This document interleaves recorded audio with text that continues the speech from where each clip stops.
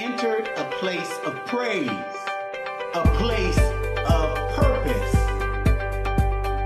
a place of progress. Welcome to Victory in Praise Church of Stockton, California.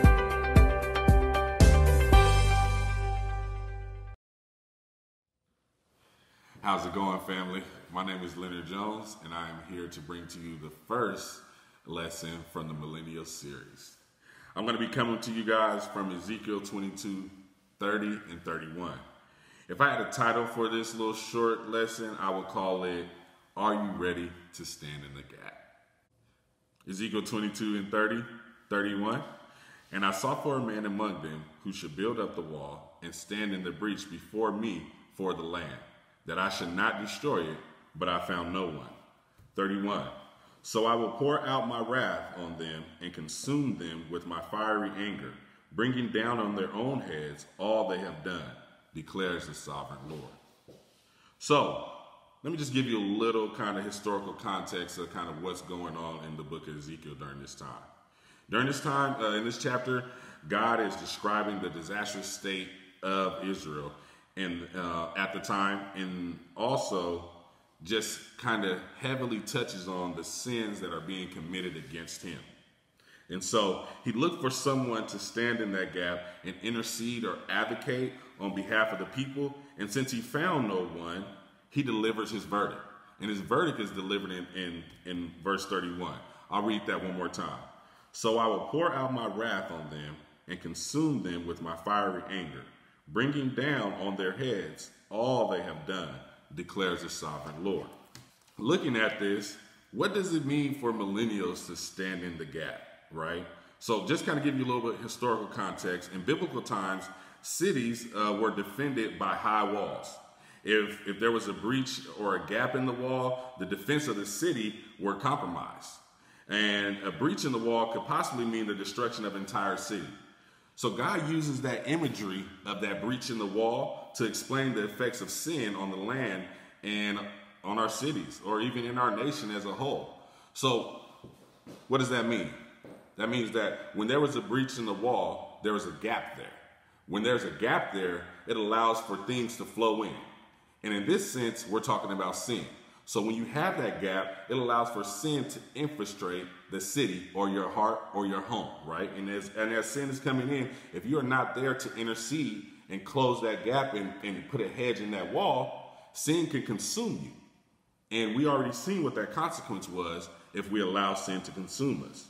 So what are, what are, what are some examples of standing in that gap? Who stood in the gap before in our in biblical times?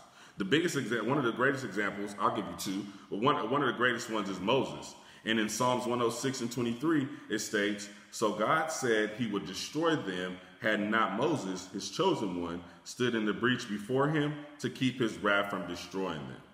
That means that Moses stood in between the Lord and interceded on behalf of the people. That means that without him, without him closing up and putting in that work, to rebuild that wall and repair that gap, sin could have continued to perpetuate and God would have came in and, and destroyed the whole land and destroyed the whole people. What is another example of that? The ultimate example that we have uh, that, that we speak about, that we constantly advocate, that we share the good news about is Jesus on the cross. And even with him being on the cross, he still continued to stand in that gap and intercede for us on our behalf. Uh, Luke 23 and 34 states, Father, forgive them, for they know not what they are doing. It shows that Jesus continues to stand in that gap, continues to advocate, continues to intercede on our behalf so that God does not come in and destroy the people. Looking out into this world and especially our city, we have a need to fill that gap. We have a need to repair that wall. We have a need to intercede, not only for ourselves, but for the, for the generation that came before us, but most importantly for the generation that's coming up behind us. We need to be those new leaders. We need to be those, we need to be, be those new repairers. We need to be those new builders that are going to build up that wall and stand in that gap for um, and stand in that gap for the people. My millennials, I have a challenge for you. 26 to 41. It's time for us to stand in that gap. It's time for us to step up. It's time for us to be those leaders that God called for. Because guess what? Without us, without those cho- without his chosen people, you know what the consequences are. We've seen that in Ezekiel 31. All right? And so I take on that challenge. If you if you are not a part of a small group, and I'll be transparent and let you know that this week I'll, it will be my first week joining a small group. I'm super excited for it.